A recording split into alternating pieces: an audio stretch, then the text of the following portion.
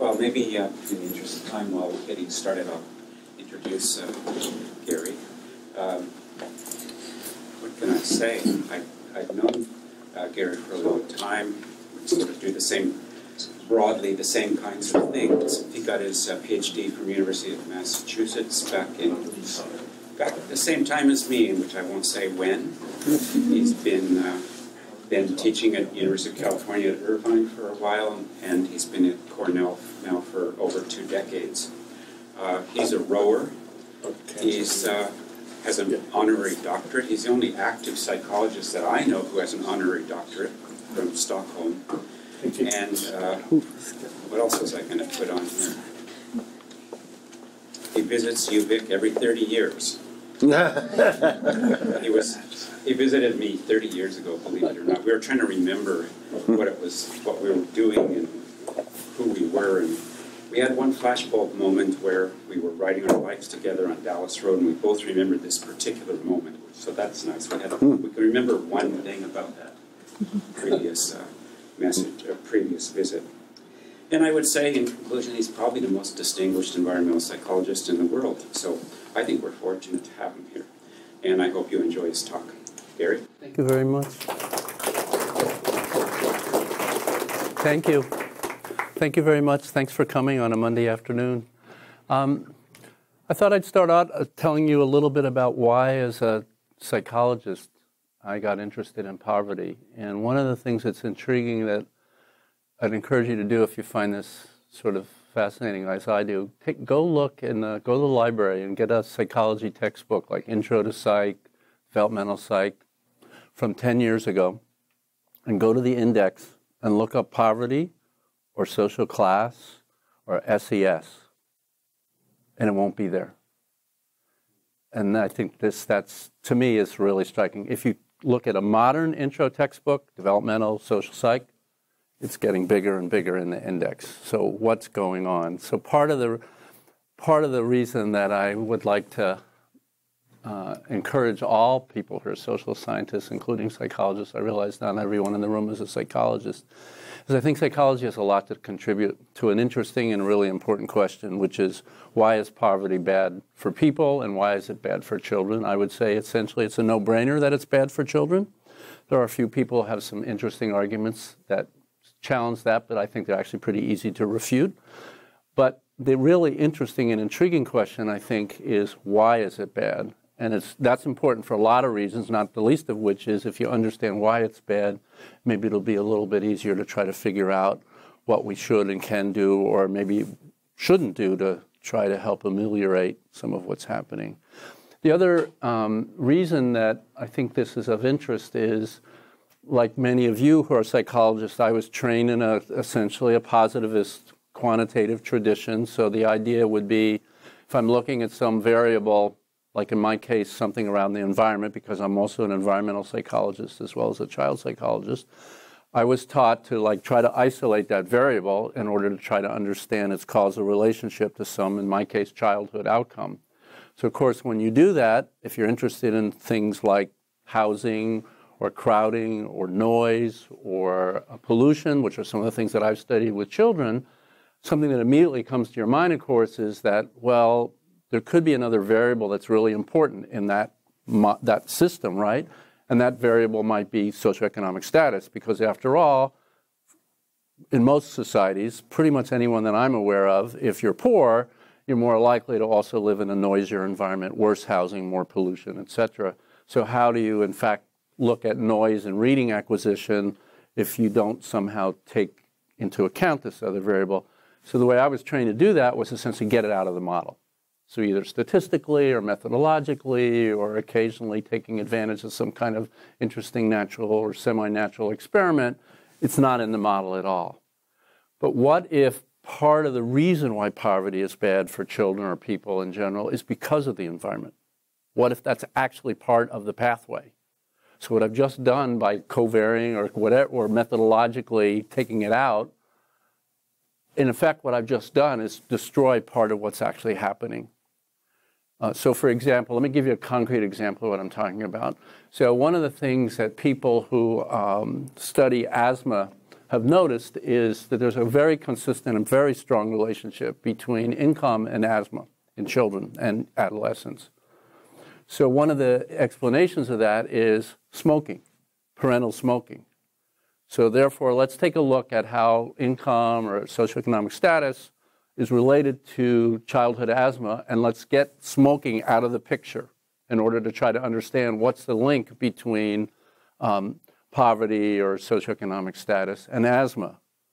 Well, what if part of the link is because your parent is more likely to smoke and therefore you're exposed to secondary cigarette smoke?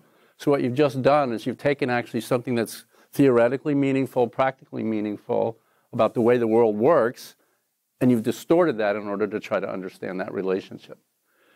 So, part of the part of what I've been interested in is why is poverty bad? And I think one of the reasons, and by no means am I arguing the only reason, and maybe not even the best reason, but one of the reasons why poverty is bad is the confluence of risk factors. One of the things that we know with reasonable certainty is that when it rains, it pours. So if a child is exposed to the accumulation of a lot of risk factors, that's a lot harder to deal with. It's more likely to stick. It's more likely to have long term consequences and it's a lot harder to intervene to change the developmental trajectory. Unfortunately, I think one of the commonalities of many poor children, at least in North America, is this accumulation of stressors. So, sort of the punchline of this talk is one of the reasons why I think poverty is bad for kids is because of this confluence of risk exposure. And that could be physical and that could be mental. So, what I'm going to do is I'm going to talk a little bit about poverty and its links to children's development. That's pretty small, fast part of the talk. And then I'm going to talk a lot more about this why and this notion of cumulative risk exposure. Um, for those of you who are interested in um, social media and infographics and stuff, this is a fantastic website. It's called Gapminder. If you're not familiar with it, check it out sometime. And um, this is a depiction, as you can probably tell, of income per person um, controlling for, uh, not controlling, for standardizing across different currencies and things of that sort, and uh, life expectancy. And there's a couple of really fascinating things about this graph. Some of you have seen this, many of you, I'm guessing, have not seen this graph. One of the really interesting things, of course, is that the more money per capita for a country, the longer the life expectancy of, for people in that country. So you can obviously see the, you know, pretty, pretty good correlation there. So that's one of the things that's interesting. Another really thing that's interesting about this graph to me is the off diagonals. So you have countries on that graph that are doing worse than you'd expect them to do, like this one. And you have some countries that are doing a lot better than you'd expect them to do, like um, this one, or this one, Cuba. So it's just interesting to think about well, what's going on. And then the third thing that's really interesting about this graph, it's, it's not also the case that if you're poor, if you grew up in a poor country, that the life expectancy is lower. But it's a linear relationship. Look at, look at the linearity of these data. Now, part of that could be an artifact because of the ecological fallacy, right? This is aggregate data. So this is income per capita, and it's the life expectancy for a nation. But it turns out when you look at it at the individual level, it looks pretty similar. So this linearity still is there. And of course, there are also some off diagonals, which is intriguing and interesting to think about. I'm going to skip that one because of time.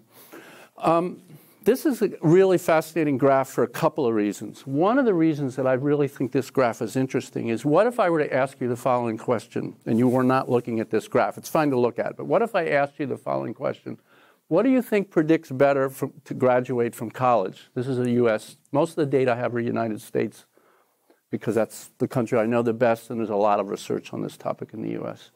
But what if I were to ask you the following question? I think the que- I'm guessing it would be similar in Canada. I don't think anyone's done this analysis in Canada, but I bet it would be similar.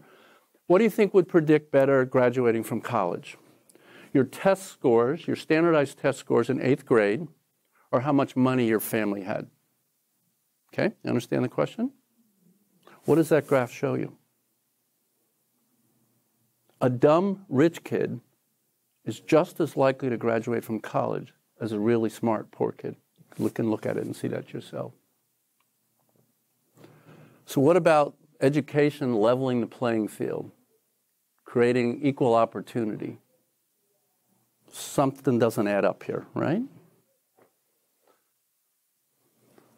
Um, this is what the situation looks like in the United States for children. So these are children, this is pretty recent census data in the United States. In the US, we use something called the Federal Poverty Line, FPL. So 100% means you're at the poverty line. In the United States, the way that's done is you look at the nutritional needs of a household, you multiply that by three, and that's the what we call the federal poverty line. So the blue is children that are at or below the federal poverty line in the United States. This is very recent data. The orange is 200% to 100%. So 100% would be the poverty line. So 200%, you're twice the poverty line. All right?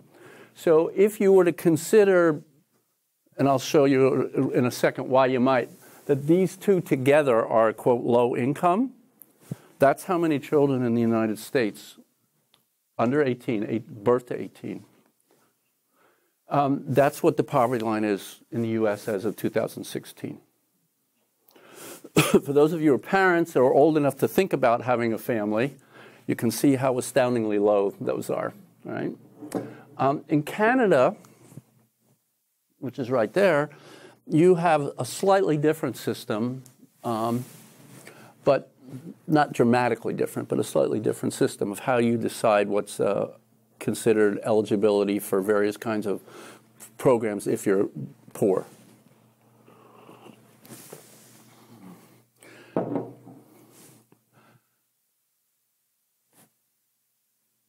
Oh, I got to go that way.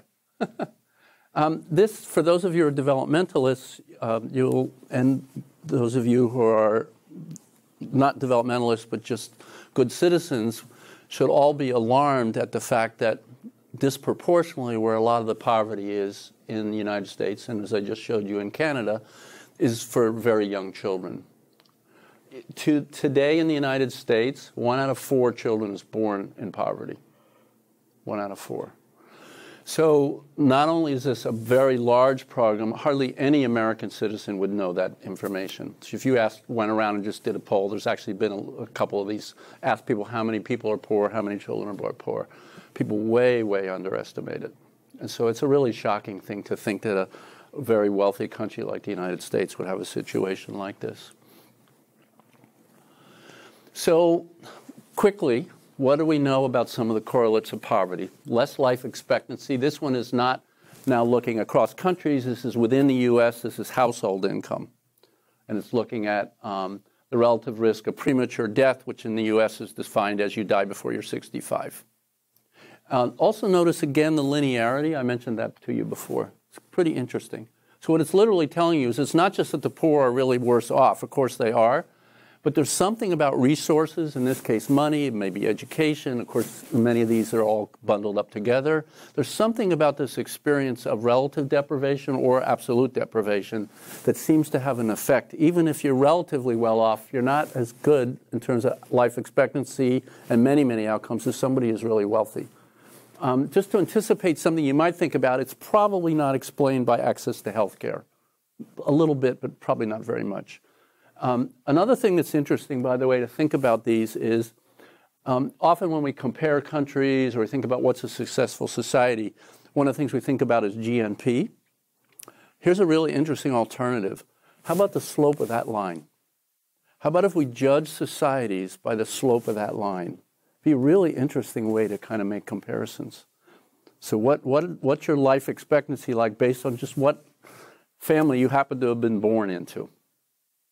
Pretty intriguing notion to think about if we sort of conceptualized what's a good society or not so good society in those terms. Uh, this is uh, babies' de- death during the first year. Um, based on maternal education, again, you'll notice that linearity. These are major typical health problems for elementary school children in the United States, in many countries around the world asthma, ear infections, physical injury, physical activity. And again, notice the linearity. Obesity, obesity is not randomly distributed in the population in most countries, including the United States, also including in Canada. One of the things that's happening in worldwide poverty is historically, as you might expect, a problem of malnutrition or undernutrition as countries develop, for example, China now has a very, very fast growing problem of obesity. So as the standard of livings go, go up, you actually wind up having this sort of fascinating and somewhat scary kind of turnaround in what's happening in terms of, in this case, a metabolic problem. Um, these are interesting data uh, from uh, Ken Dodge at uh, Duke. And one of the reasons they're interesting, these are national data. So is a very, very large data set looking at United States um, internalizing, excuse me, this was just externalizing, externalizing symptoms. For those of you not familiar with it, externalizing means things like um, aggression, acting out, cheating, when you're a little bit older, maybe substance abuse. So that's the kind of thing this is capturing. Um, and a couple things that are, and then this one, some of you may not be familiar with. Instead of measuring, this is based on, um, I think it's, my memory is, I think it's teachers. Yeah, this is teachers' evaluations of the children's behavior in the classroom. And this is what it, uh, as it implies, this is peer nominated aggression. If you're not familiar with this, it's kind of like a, uh, a sociometric technique. So each child is asked to name, you know, who are the two or three, you know, kids in the class that are most aggressive and then you triangulate across the whole class, and then that's what you come up with. So this is literally kindergartners telling you about other kindergartners in the class, and this is the teacher's ratings. And as you can see in both cases, there's this, again, a good deal of linearity also in more these kind of acting out, externalizing problems at pretty young ages. It wouldn't surprise you to know that these things wind up predicting some pretty ne uh, negative outcomes, like criminal behavior, for example, or substance abuse. Um, this is when you first arrive, six years old. so most of, this, most of these kids are in kindergarten. This is your standardized math scores as a function of what income quartile you're in. Um, this also speaks to that earlier graph about what predicts college graduation better, right? So look what's happening. You're already different when you arrive at school and it doesn't get any better and maybe gets slightly worse. There's some controversy about whether it gets worse or not. There's no controversy that it doesn't get better. That's pretty universally found. Um, Canadian data looks uh, quite similar to this. Uh, percent graduating on time. So basically, have you been retained at all during a year of school? This is an interesting way to look at poverty. Instead of looking at the individual, this is looking at the aggregate. So it's looking at the percentage of people in the school who are eligible for a free or subsidized lunch. So in the United States, based on your income level, you can either get a free or a subsidized lunch. Um, so this is the percentage of kids. So this is over 40% of the children in the school are eligible for a free or subsidized lunch. And this is in a very large school district in California. And as you can see, there's this really interesting relationship. Um, various kinds of cognitive functioning. A very consistent finding is one of the biggest correlates of poverty in children's development is language development. Um, very, very big. And as you can see, these are um, pretty substantial uh, differences. So this is looking at um, children in Philadelphia. They're all African American. They're in, um, I think it's fifth and sixth grade, if my memory is correct. And as you can see, it's looking at language, long-term memory, working memory, and an executive control test. So these are using some pretty standard neurocognitive kind of test batteries and looking at the differences between kids who are either um, upper, not middle income or lower income. So what's the measure there? Which one? On that last graph, I can't read what the dependent variable is. The, you're looking for the dependent variable? It's effect sizes, the differences in the, yeah. Pardon? Those are huge. Yeah, they're really, it's a really, especially the language, the language ones are gigantic. Yeah, no, not too much problem of false positives there. This is uh, from Martha Farah at Penn. If you're interested, uh, Stephen, it's from Martha Farah at Penn, F-A-R-A-H. Um, this is a, a, problem that's used, a, a protocol that's used to look at planning uh, sort of trying to figure out how to strategize. Some of you are familiar with this. Basically, you have to move that pyramid from one of the poles to another pole. and try to do that in the least number of moves possible. So what it's kind of tapping into is thinking ahead, strategizing, sort of figuring out what's the best way to do this. So this is from the National uh, Daycare Study in the United States, a big study of child care, thousands of kids. And it's looking at income to needs, which was that federal poverty line, looking at math scores in grade five, and looking at that task uh, in grade three, that planning task. It's called the Tower of Hanoi. If you're a developmentalist, you probably heard of it before. Um, and in this particular analysis, it's also controlling for IQ. So what I'm trying to do here is just give you a feeling of sort of the breadth of the correlates of poverty or socioeconomic status. So why is poverty bad for kids? I think it has to do, as I said, with the, the environments that they grow up in. So quickly, well, what are some of the characteristics of poverty in the social environment and the physical environment, somewhat artificially divided, just in order to talk about it? So in the United States, you're, if you're from a low-income family, you're five times more likely to be divorced. And most people who do these analyses, of course, are aware that divorce can lead to poverty. Most of these studies, or these, um, which are obviously epidemiological descriptive studies, are, are dealing with that to the best of their ability. So most of these look like it's not that this has been produced by the divorce, but so, and no, again, notice the you know notice the, the magnitude of this effect. Five times, basically, five times more um, children in divorced families if they're low income. Uh, this is a, one of my favorite Jerry Kagan studies, which unfortunately is not very well known. Those of you are developmentalists, Jerry Kagan was a, a very eminent uh, cognitive developmental uh, psychologist and um, does a lot of work on shyness right now. That's sort of his thing he's been working on most recently, and is also interested in arousal.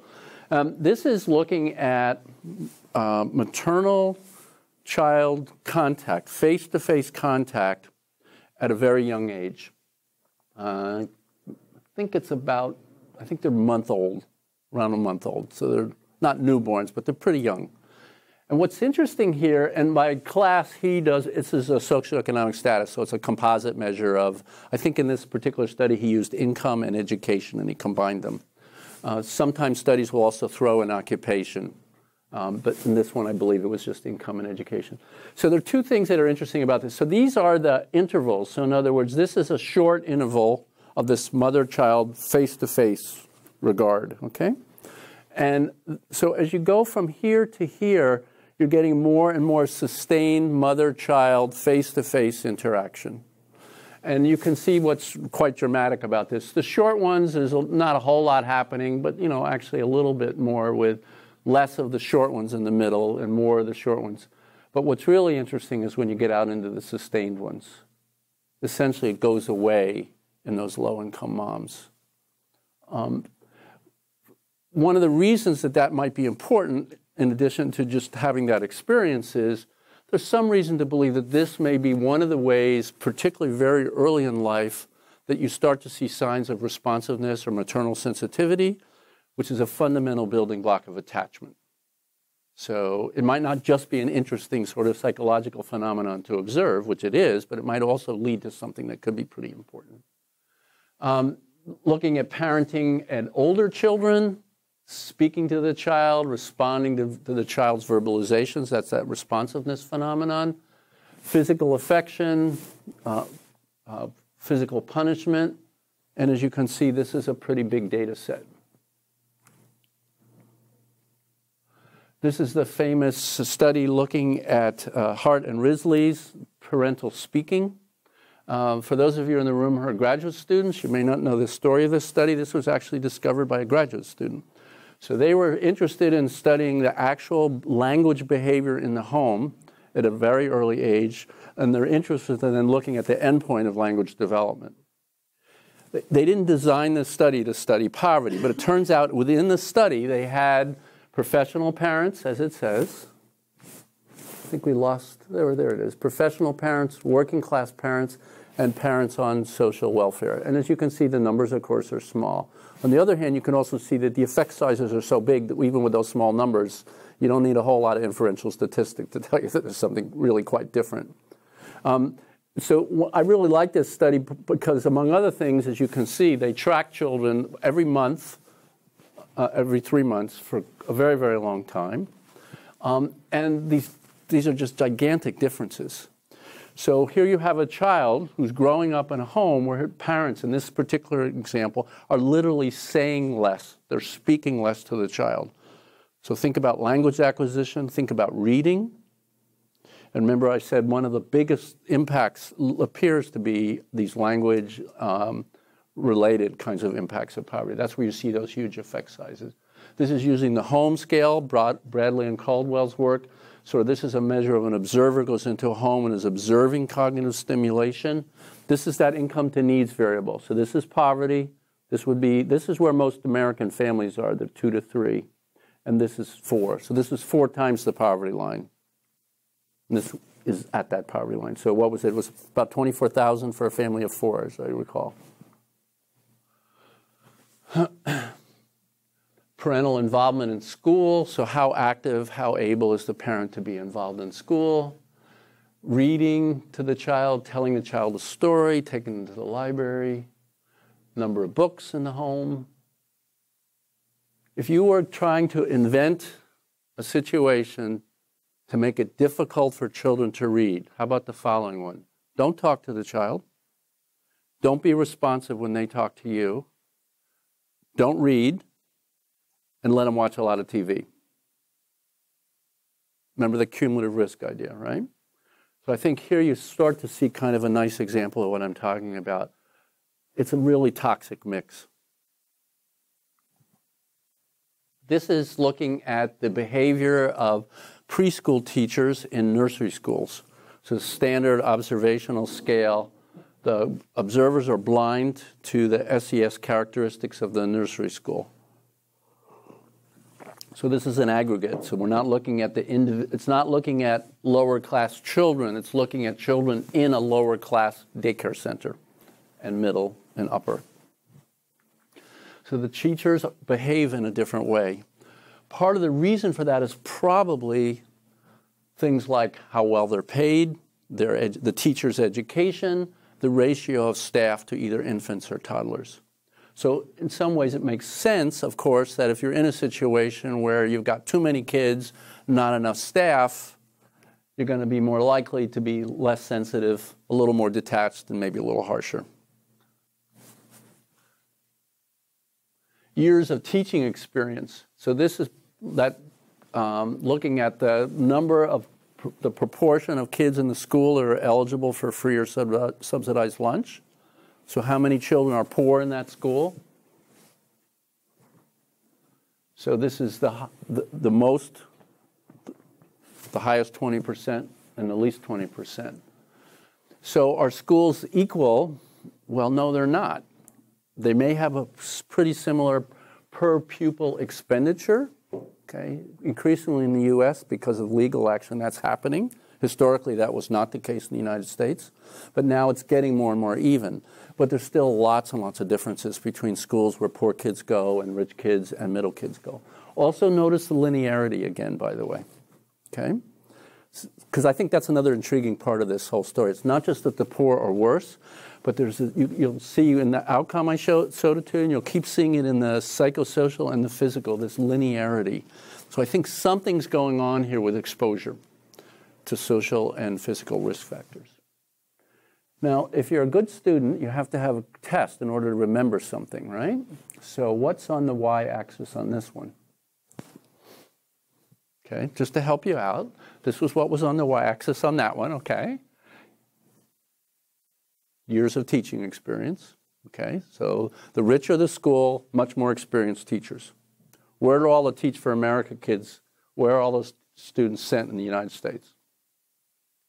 low income schools. How much experience do they have? Zero.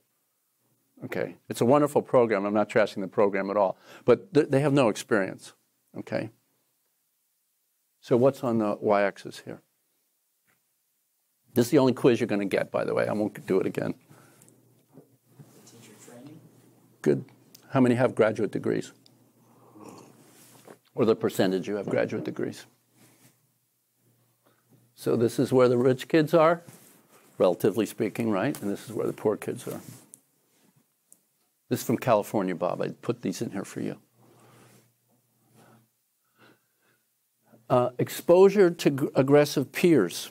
So remember that externalizing thing I showed you earlier. This is looking at the, the child's at two to four years old, so we're not talking about very old children, their exposure to other children similar age who are more aggressive in the neighborhood, in the preschool, and their friends. Crime, this is looking at uh, either injuries or fatalities from uh, gunshot wounds in Philadelphia. This is uh, brand new data, just was published in the American Journal of Public Health. Um, much more crime exposure as well as fear of crime in low income areas in the United States. And I'm guessing it would be similar in Canada as well. So I just did a very fast, hopefully not too fast, kind of give you a feel of well, what's the psychosocial environment like of poverty for children? Well, what about the physical environment? Well, that same daycare study that looked at the interactions with the teachers, the harsh, sensitive, detached, they also did an evaluation of the physical environment of the daycare centers. And very similarly to that other graph, there's a relationship between the characteristics of the family that are, have children in that school and the quality, the physical quality. How well designed is it? How does it have the right kind of supportive resources? This is a fascinating study. This is national data. These are, this is actually, a, it's not a sample, it's a population study of all schools in the United States. And they did an inventory of their physical quality. And what they were interested in, among other things, was what was the condition of school buildings in the U.S. because many of them were built a long time ago, a lot of them in the 30s, public schools, particularly on the East Coast, a little bit later on the West Coast. And they're interested in the question, well, what was just the, you know, what's the quality of the school buildings? Um, and someone had the wisdom to say, well, remember that thing about free or subsidized lunch? You could do that same kind of an analysis. So someone got that data and was able to do this analysis. And what they're looking at here then is the relationship between you've got a lot of poor kids or you don't have a lot of poor kids. And this is the percentage less than adequate conditions. So this is across a whole lot of different things. They have graphs and tables of the heating and the cooling and the lighting and you know all that kind of stuff. So this is just an aggregate of that. And you'll notice something interesting here if you're observant. You'll notice that for the black bars, which are permanent additions, so renovations, you get the linearity that you I would keep showing you, right? But for the white ones, there's a little bit going on, but it's kind of jumping around. Okay? What that has to do with is when those buildings were built. So this was the original building. Most of them were built in the 20s and 30s, mid 30s. And then these are additions, which of course came later, right? So these are renovations later on. So what's happening here is this is the current percentage of the subsidized lunch right? Which is going to be much closer in time to the additions. Whereas when the school was built was a long time ago. So there's a little bit of a relationship there with the permanent building. Um, some of you I know are interested in nature and exposure to nature and how that might have something to do with children's health and well being. There's certainly a lot of interesting observational data floating around that suggests that there could be something going on and at least one famous study where people were randomly assigned to gallbladder surgery in a hospital. Um, but there's reason to believe that there, this could be important. It's certainly, from a moral, ethical point of view, all children ought to have similar access to resources like nature. And it may, in fact, be important for their cognitive development and maybe for their physical development. So, this, as you can see, square yards of park space per child in New York City.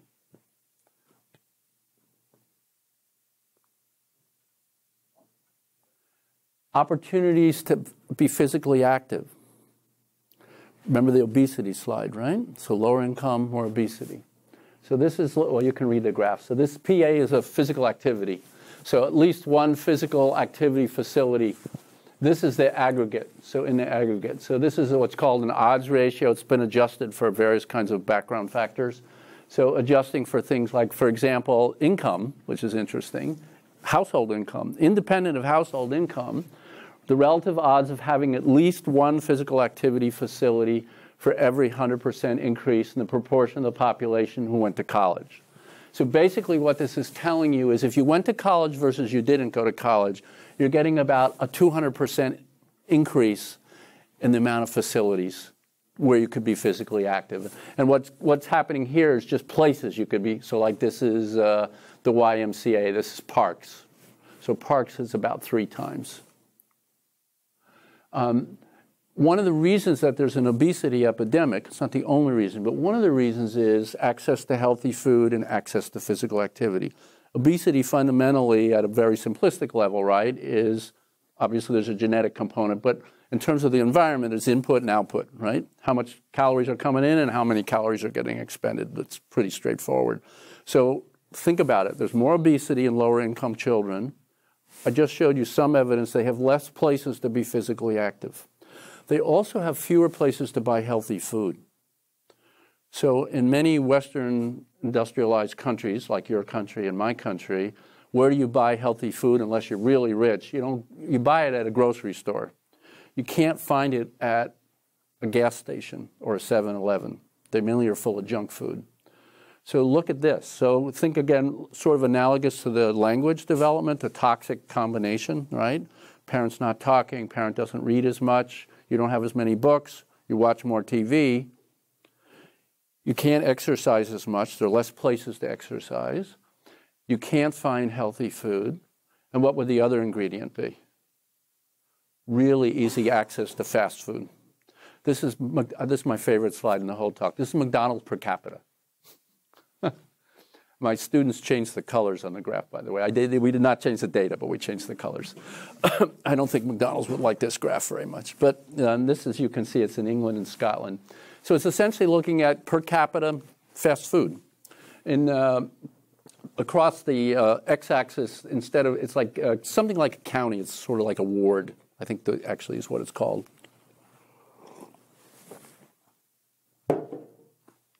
So if you're in the lowest quintile, the lowest fifth, in terms of the county or the ward where you live, you have a lot more McDonald's per capita. You also have, unfortunately, less gross. Uh, I mentioned less grocery stores. You also have less pharmacies. Some of you might have heard of a concept called a food desert. There's also something called a pharmacy desert, completely analogous to the idea. Um, housing quality in many societies, one of the major things we use with our resources is to buy better housing. So if you don't have much money, you're going to have less quality housing. This is a very ubiquitous phenomenon. Pretty much all any society that I've been able to get data on like this, it's pretty common. Um, this is just different indices. This is U.S. data. This is just different indices of housing quality. Um, the asthma epidemic. One of the reasons that there's more asthma in uh, lower income kids is probably linked to housing, very much so, because housing conditions, one of the things that that can drive are allergens cockroaches, for example. So this is looking at cockroach allergens, so literally the things that people respond to in that environment. One of the things I'm going to show you a little bit later on is relationships to the uh, inflammatory or the immune system. So chronic stress changes the way your immune system works. Unfortunately, this is another example of a toxic mix, literally in this case toxic. So what you have is you have more allergens. Those are the things that create the allergic response, the overreaction of the immune system. And you've changed the set points for the immune system. So the inflammatory apparatus has actually been reprogrammed probably because of the probably stress and maybe also because of overexposure. Um, crowding, people per room is one way you can measure crowding. In the US, they use a standard of one person or more is crowded. Moving, how often do people move? Noise, this is an interesting finding. Many of you might not remember that noise is measured in decibels. Decibels is logarithmic. So 57 to 67 would be about twice as loud. So this is again using that percentage of children eligible for a free or subsidized lunch. As you can see, this is British data. Actually, you can't see that. This is British data. Sorry. Traffic. Where's the school located? In this case, carcinogens. This is one of the few that's nonlinear. If you've been watching closely, you'll notice a lot of these are linear. I didn't cherry pick that. That's a very common phenomenon. This one's not linear. I don't know why. It's, it's not. It's carcinogen emissions in, uh, of a certain scale in uh, Britain. This is more the back to the linear. This is St. Louis sulfur oxides. Lead, most of you are familiar that lead is a, a neurotoxin. Um, because of the famous Needleman studies where we collected children's baby teeth and then looked at IQ and other kinds of behavioral outcomes. By the way, I've learned that a lot of psychologists don't know this, but you know, Needleman not only did the IQ, do you know he had teacher ratings of behavior? I didn't know that until I st- started looking into it a little bit more. Teachers clearly don't know how much lead is in their kids' teeth. They might know which ones were maybe really poor, but they're not going to know that much about the SES. They had ratings of things like inattention, aggression, ability to stay on task, um, getting along with your peers. All of those things Needleman found relationships with lead in the teeth. So, why is poverty bad for kids? keep doing that, sorry. Um, I think because of this cumulative exposure. And I mentioned earlier that one of the reasons that this is important potentially is uh, this is Arnie Sameroff's data looking across a bunch of different studies, lots of different outcomes. So on here we have these different outcomes, qu- quite a range of things. That's why I chose this slide. And here's the this, and these are additive models. So probably they're underestimating what's actually happening because they can't take into account interactions either they don't have enough statistical power to do that, or it's so complicated you can't understand it anyway. I can handle about a four way interaction. After that, my brain starts to fall apart. So essentially, as you get more and more risks, as you can see, all of these various kinds of developmental outcomes, which are pretty important, um, start to get trashed. So let me tell you about a little study. This is a 20 year study that uh, my students and I have been doing, tracking families, some about half below the poverty line. Remember that 1.0, that's the federal poverty line, and 2 to 4, which is where most families are. It's rural, essentially all white, and the mother and the kid are interviewed in the home. We started, they were 8 and 9 years old.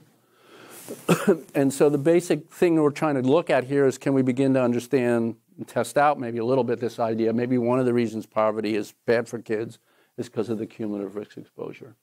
So what we're going to do is we're going to track these kids over time. I've been following them for 20 years now. I'm just going to show you bits and pieces, obviously, of what we've been finding. Um, and the basic hypothesis is that one of the reasons for this link between income and these various kinds of outcomes is this cumulative risk exposure. So I've got three physical risks, which are crowding, noise, and housing quality people per room. This is using decibel meters. This is a trained walkthrough. So I'm not asking the parents about the housing quality. People are trained how to evaluate it and they walk through the house. This is similar to how the US does an annual housing survey. So they, I took their measure, their observational scales, and I think made them a lot better because there were theirs were designed to pick up on things like asthma. Uh, and these are the multiple, these are the psychosocial stressors, which are family turmoil, it's kind of what it sounds like conflict, arguing. Um, this is a little bit misleading, not deliberately, but in hindsight. This is the child has become separated from the family. Um, mom gets hospitalized, the child gets hospitalized. Uh, exposure to violence. For those of you interested in violence, this is inside the home and outside the home. Um, so basically, much like the slides I showed you, poor kids have worse housing, more noise, more crowding, more turmoil, more separation, more violence. But what's really intriguing is they have a lot more accumulation. Okay? So the additive model, it, which has some problems, but it's a difficult challenge to deal with, is each stressor I dichotomize it. You're at risk or you're not at risk. This particular analysis, we use one standard deviation above the mean. So what that literally means, I take all those kids, okay, roughly 300 of them. And if they're one standard deviation above the mean in terms of people per room, you're at risk for crowding. And then do the same thing for noise, same thing. And then I add it up, so it goes from zero to six. So this is what you're, this is the zero to six.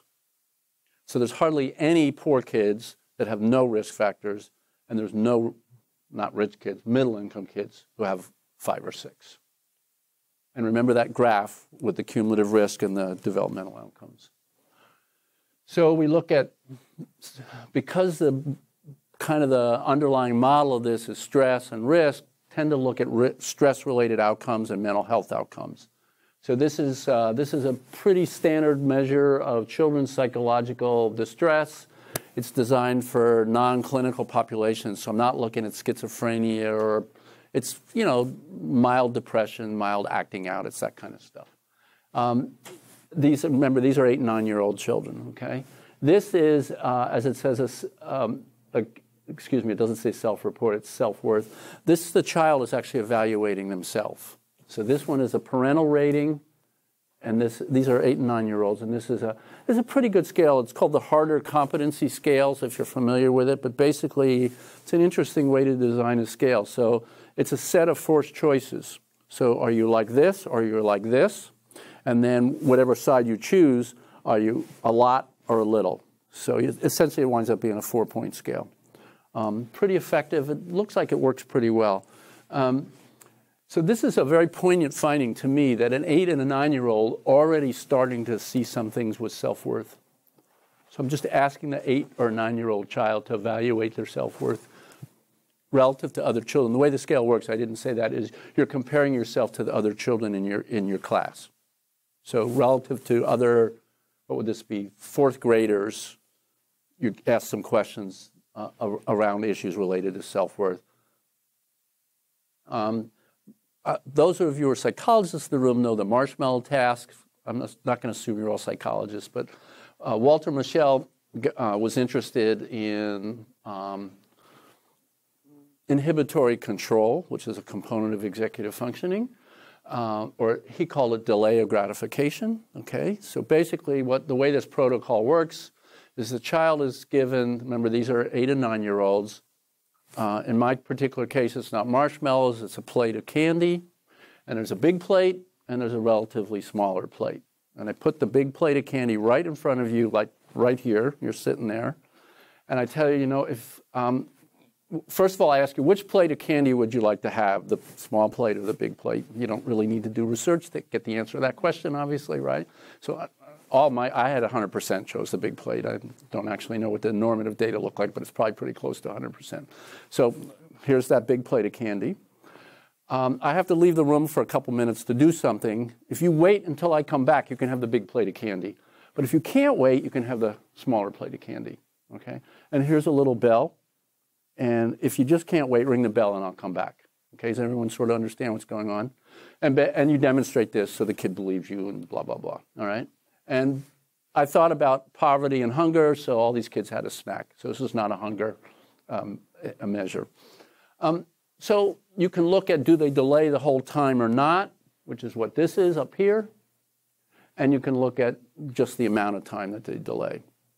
So these kids at eight and nine years old have looks like have some issues with inhibitory control. And if any of you are preschool teachers or you know or have preschool children, I think you'll recognize how important this could be for being successful in life or certainly in school, right? If you can't delay gratification. Um, this is a task looking at persistence.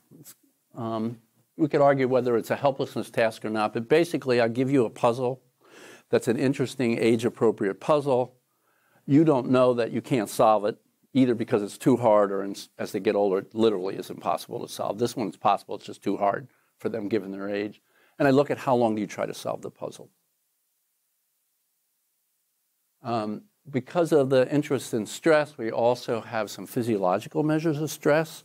These are some classic HPA axis, uh, hypothalamic pituitary adrenal axis. So here we've got looking at cortisol. This is the one most of you probably heard about. Some of you may have heard of these. These are called catecholamines over here adrenaline and noradrenaline, or epinephrine and norepinephrine. They're all the same thing, by the way. They're just whether you're in Europe or North America. Um, you'll notice this one is not statistically significant, even though it's actually the biggest. There's a lot more variance in norepinephrine. So this is an issue about the standard error.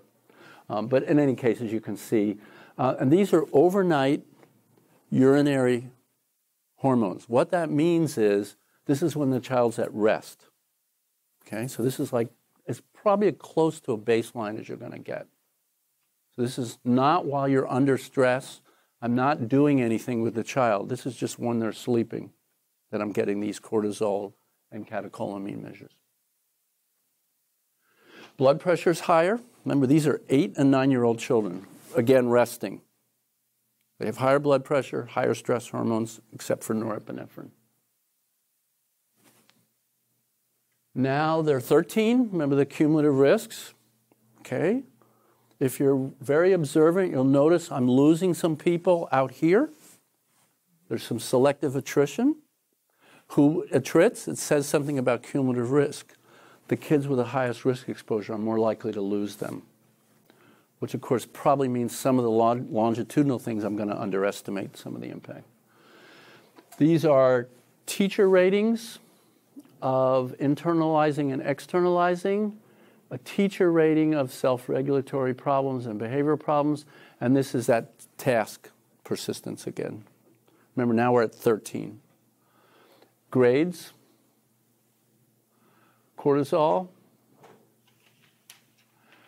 Instead of looking at the resting blood pressure, which I still do, I'm also interested in what's called reactivity and recovery. It's kind of what it sounds like. I challenge you in some way, give a speech, for example, and I look at how much does your blood pressure go up, and then I can look at how much does it, how long does it take to come back down.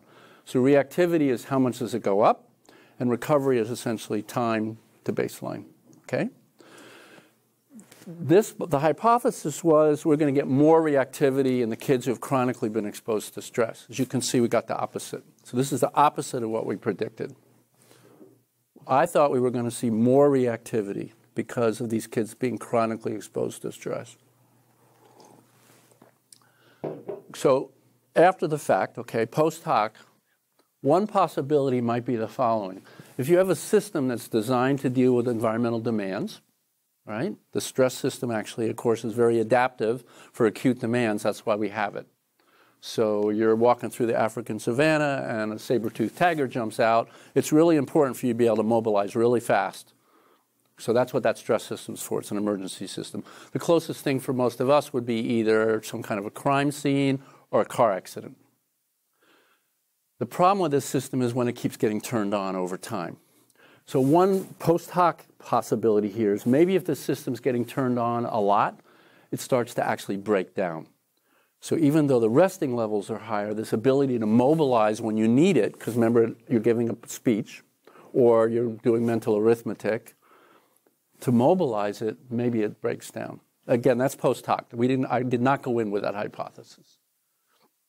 Here's the recovery. They're slower to recover. That makes more sense either way. So here we did predict they're going to be slower to recovery. Um, you go out and you run around a track, you ride your bike, your pulse, right? You measure your pulse, it goes up. How long before your pulse gets back down to resting? That would sort of be the analog of what we are looking at here. Instead of your pulse, it's blood pressure. So how long does it take you to get back down to the baseline? So think about what I just told you. It kind of starts to fit this post hoc idea that maybe the system's broken. They don't mobilize as well, right? They had less re- reactivity. But despite that, it takes them longer to get back down to baseline. So maybe another way to think about it is maybe the system's lost some elasticity. That might be another way to kind of think about it. Um, both systolic and diastolic. Um, now I'll show you a little bit of data out to 17, and I'll show you a little bit out to 24. So we're just starting to do a little bit of longitudinal modeling here, as you can tell. So this is how long you've been poor from birth to that first wave.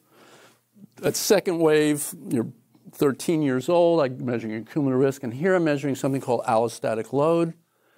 I don't have enough time to get into this, but basically, allostatic load, you can think of it as sort of, in a funny way, like the analog to cumulative risk, but on the outcome side. So, what I'm going to look at here is across several different physiological systems metabolic, cardiovascular, neuroendocrine. I'm going to look at elevations across different systems. And then I'm going to aggregate that. All right? If you're interested, there's a, a book called The End of Stress as We Know It by Bruce McEwen, M C E W E N, if this idea int- intrigues you. In medicine, this has become a very big topic because it turns out these measures predict a lot better than single risk factors. Cholesterol, for example, actually does not predict heart disease very well. But if you put cholesterol with smoking and then a couple other things, now you're really predicting heart disease. Somewhat analogous to that idea. So if you look at just blood pressure, is a little bit going on, but if you look at blood pressure plus obesity plus the stress hormones plus some other things, that's what allostatic load is. So what I'm showing you here is that this early poverty is related to allostatic load. You know, let's round it off, say 10 years later. And then in between, this cumulative risk. And I should mention that we have allostatic load here. So this is actually change in allostatic load. So this is prospective longitudinal data. Um, similar kind of modeling, only here instead of looking at allostatic load, we're looking at externalizing. So 17 years old. Helplessness, that task persistence. Um, this is, look, I, th- um, I think I'll skip this because of time. It's a little more complicated.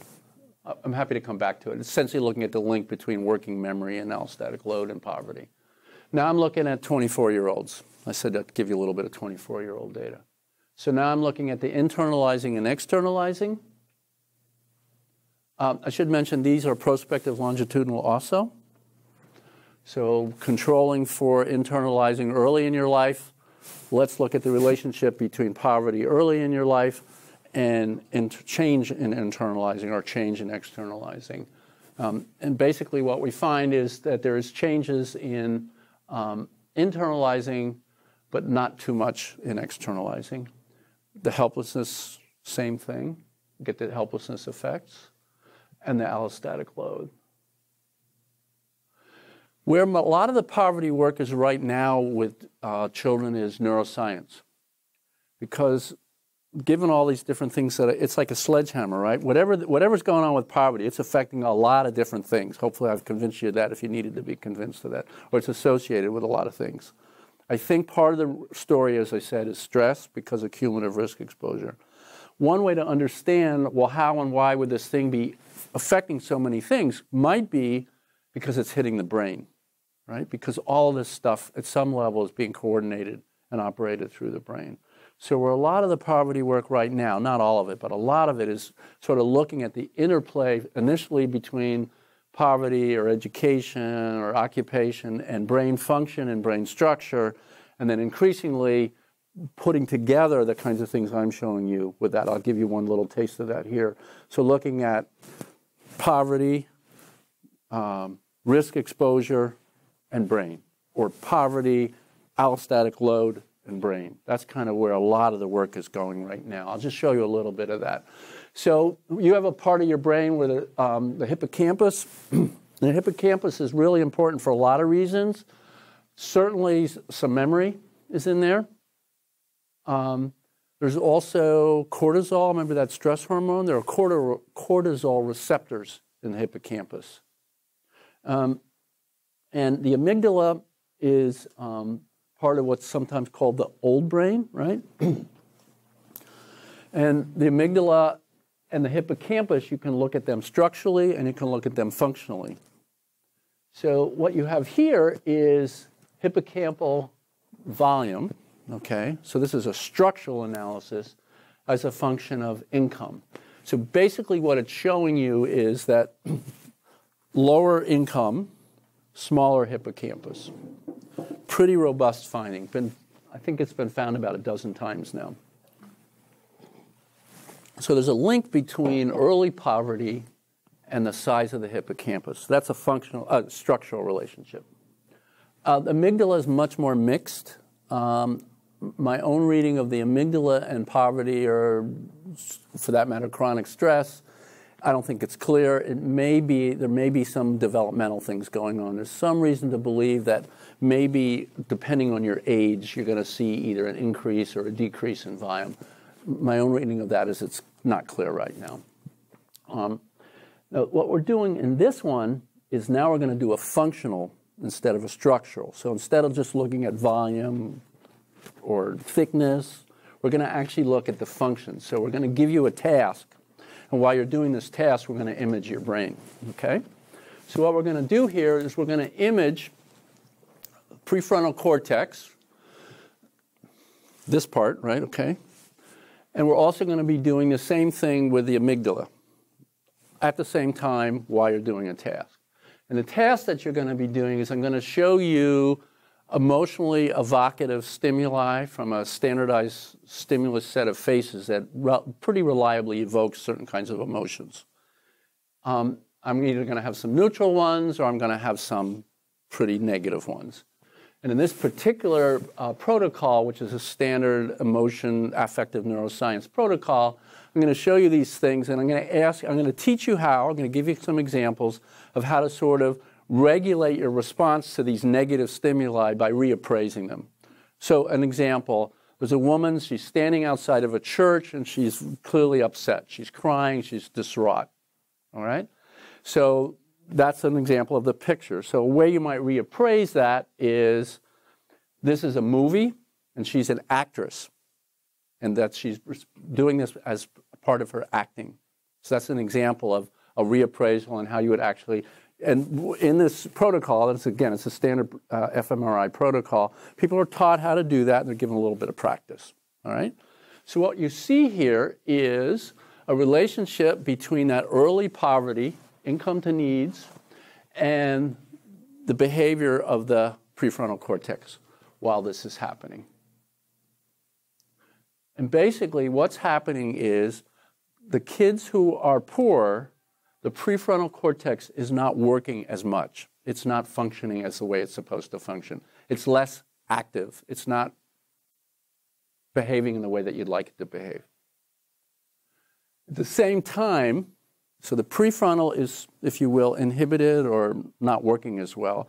At the same time, same task, all this is in real time, the amygdala of the lower income kids is working more. So the part of the brain, to uh, oversimplify a little bit, where the brakes are, is not working as well, and the part of the brain where the gas pedal is, is working more. All right? Now think back to inhibitory control, delay of gratification. the kids are being evaluated by their teachers. They don't get along as well with other kids. The parts of the brain that we have reasonable evidence are linked to some of these things. You've got this very intriguing finding that the part of the brain that sort of helps you inhibit emotions, help you regulate behavior, help you make plans, is not functioning as well. It's not turned on as much during this task in lower income kids. By the way, these are adults, I didn't mention it. These are 24 year olds. And the 24 year olds, at the same time, the same people, their amygdala is overactive. So you can see why that could be a really toxic combination. Um, here's a little modeling where we're looking at those same outcomes and we're looking at chronic stress exposure. So here we've got early childhood, 9 to 17, and then 24. So this is essentially just showing you that some of that connection that I was just describing looks like it may be operating or mediated by uh, chronic stress exposure. Now, another thing you can look at is remember, I said we've got these two parts of the brain, right? The brakes and the gas pedal. Prefrontal cortex is the brakes, amygdala is the gas pedal. Another kind of analysis you can do is called connectivity. How well are they literally are they wired together? What's the extent of the connectivity between the two? And one of the things that we find, whoops, I'm sorry, is that the connectivity is less in the low income kids. So the brakes don't work as well, the gas pedal comes on stronger, and literally at the, the connection, the wiring, if you will, is not as good in the lower income kids. I wanted to end with this, um, this slide this is a really intriguing slide. So what I'm looking at here is population risk, okay, and this is in Winnipeg, Canada. And I'm looking at um, not every child, but pretty much every child born in Winnipeg at a, in a certain time period, okay? And I'm looking at from after neonatal, okay, So after neonatal, help me, is neonatal one month? Does anybody remember? I always get natal and neonatal confused. Anybody, anybody remember? If you're a social epidemiologist, you would know this. I th- I th- it's early, okay? I just can't remember whether it's one month or six months, but after that time period, from that point on until your um, 18th birthday, including up to up to up to up to your 19th birthday, from zero through 18, okay? How many times ever in your life in Winnipeg, it's population studies, essentially every kid born over about a 10 year period in Winnipeg, were you hospitalized? You understand? So it's after you've been a, a neo, you're not a newborn. From newborn on to being a, a young adult, were you ever hospitalized? Okay? That's the outcome. That's the dependent variable. The here's the fascinating thing. Let's look at the independent variable. Low birth rate. Low APGAR. APGAR is a uh, a test that's given to newborns. It's essentially looking at the viability, the react, how responsive, how alert is the infant. Okay, um, prematurity. So you can see that each of these predicts in your adult, in your childhood, zero to 18, the probability that you were ever hospitalized.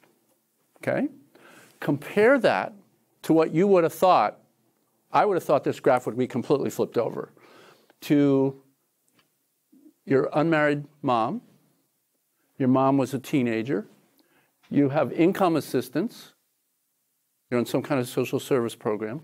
Or you're not on income assistance, but you live in a low income neighborhood. To me, this is a really powerful graph because I don't know about you, but I would have thought if you said to me, well, poverty, is it going to predict things like whether you ever got hospitalized? I would have said, yeah, I think it will. But if you had then said to me, do you think it would predict better or worse than the fact that you were premature or that you were a low birth weight baby? I would have never predicted. Look at the magnitude of the difference between how well these things are predicting that sometime in your life as a child you're going to get hospitalized versus these things. I think it's a, it's a remarkably striking and to me counterintuitive finding. So basically, what I've said is poverty is bad for kids. Hopefully, I've taught you a little bit or reminded you a little bit about some of the outcomes of that for children. And I've tried to make the point that I think one of the reasons that this happens is because of this con- confluence, risks coming together. And that may be one of the things that happen. And hopefully, for those of you psychologists, I've convinced you that this is a good subject for psychologists to study. So thanks. I'm going to end there.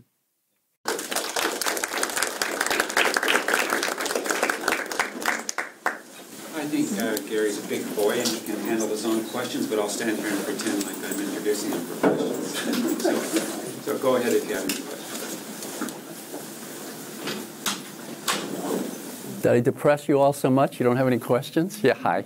Just about this graph here. Um, I'm just wondering how mutually exclusive. Those, I'm sorry, what? How mutually exclusive those categories are. Like how, like is low birth rate also really associated with having an unmarried? Sure. So. how overlapping are those? Right. So what, what this is doing is it's looking at each of these independently of the other ones. Yes. Uh, When you're talking about the prefrontal cortex and amygdala and how they're related, and basically you showed earlier about the rates, there's definitely a correlation there. I missed the, I- the amygdala. The, the, um, heart rate, you know, and then basically the amygdala prefrontal cortex, you know, because of the pedal gas, like you said. Uh, So your one graph basically showing, uh, That one? yeah, so I think that, you know, like it was interesting to see, you know, the connection of the two and then your earlier slides of heart rates. Right. You know, because your amygdala's for your, um, Right. fight, flight. Right. Fight or flight. Yeah, Exactly. It's like, wow. Yeah. For me, I was like, wow, Yeah. It really starts to add together. Yeah. Yeah. Yeah, it's, um, and again, to me, it makes sense that the brain would be a big part of this because, I mean, it's probably fundamentally the most important stress mechanism is the brain. We don't think about that. We think about neuroendocrinology and cardiovascular, but most of this stuff's probably getting right through the brain. yeah, I've seen it in a graph form. Yeah. Thank you. Got one over here. Yeah. Thanks. Probably only. uh, So you did have a useful function. You pointed out the questioner. Yeah. Thanks. One, one or so, because I know some people have to go at four thirty. Yeah, feel, anyone feel, if you need to leave, obviously feel free to leave. I'm- I teach a 350 introductory class. I'm very used to people walking in and out, yeah. Um, I have more of a methodological question. Sure. So you mentioned right in the beginning that we tend to, at least in our lab, kind of just account for social economic status in our models and kind of just talk about it as this, you know, this Nuisance. factor- this yeah, it's nuisance.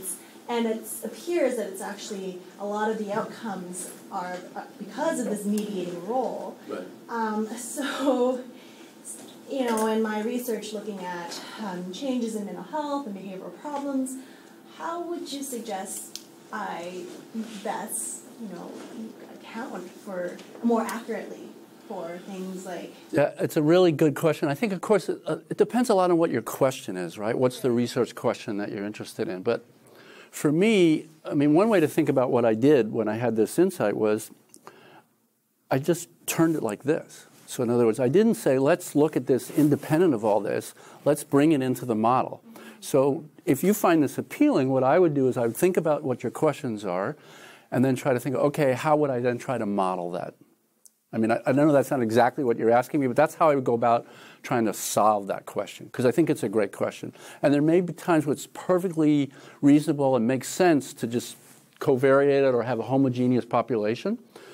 But there may be other times when you're doing that, you may be shooting yourself in the foot because I think a lot of what's going on here is that it's actually these things that we're all interested in studying as psychologists traditionally that may be why poverty is bad. And, and one of the things that that does, of course, is it makes psychologists can't sit at the table then when we're talking about what should we do about this or how should we study it because we've just said, well, it's a nuisance, we're not going to study it.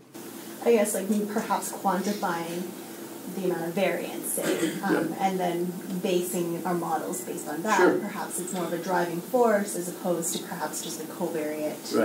Yeah. And the other thing to do is, you know, think about the kind of traditional notion of a mediator versus a covariate. I mean, statistically, they're actually the same thing, right? But one case we say, well, it's the process through which this is acting. In the other case, we think it's a nuisance, a confounding, right? And that's why we covariate. So that's why I think it has to come back to the question.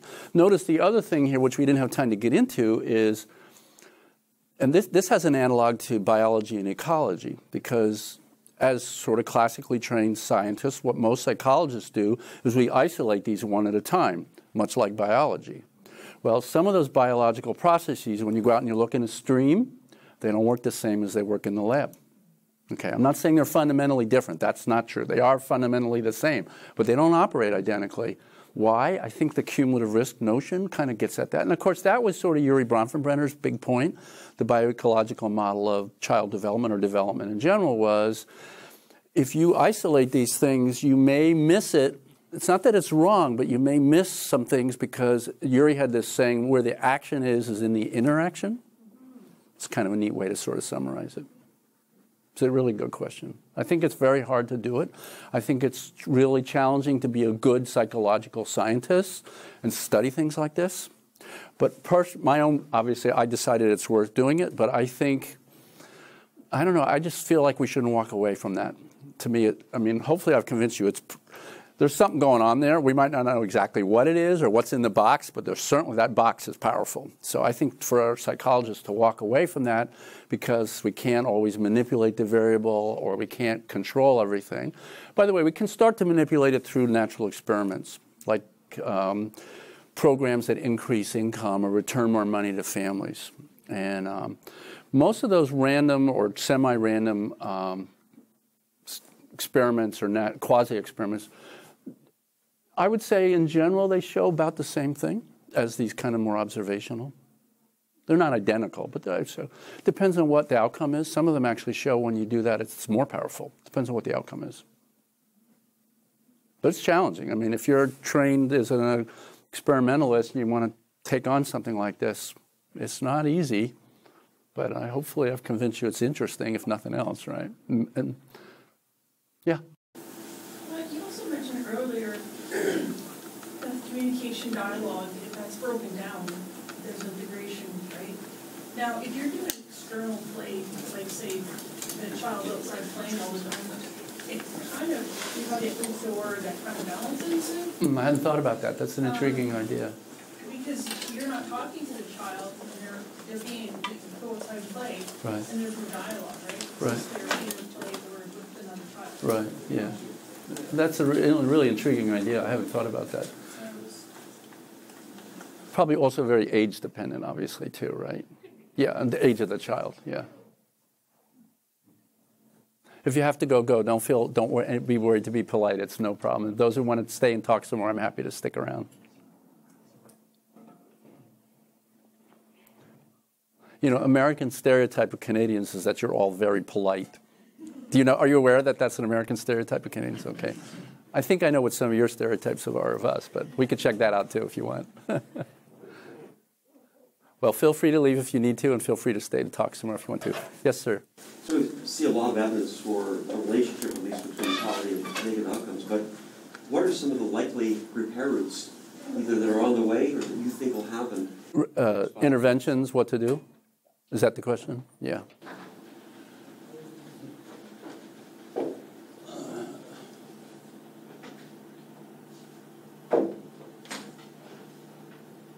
Going to show you a slide. That's why I'm doing this.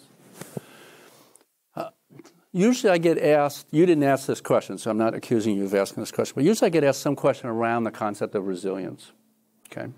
So basically, I think most of you are familiar with this concept, but basically, this is um, you're at risk for a negative outcome. You're a poor kid, for example.